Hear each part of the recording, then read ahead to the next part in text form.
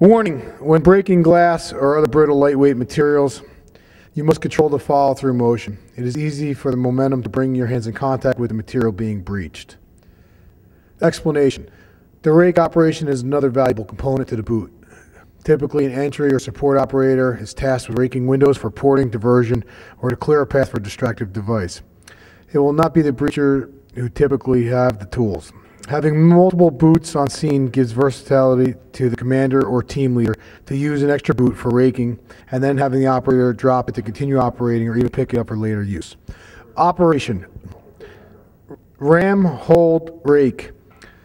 This type of rake operation uses the same hold as when forward hand on the front handle and back hand on the rear handle or side handle. The boot is raised up to the window or area to be raked and a controlled downward raking motion is used.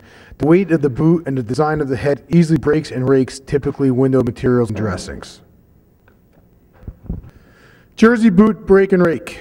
Notice the operator is wearing safety gloves and safety goggles.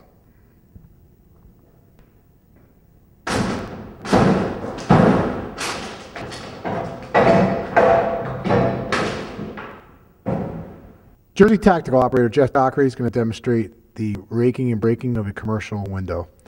As Jeff is demonstrating the technique, you'll notice that he's attacking the corners and the track system of the commercial window, thus allowing Jeff to knock out the entire window in one portion.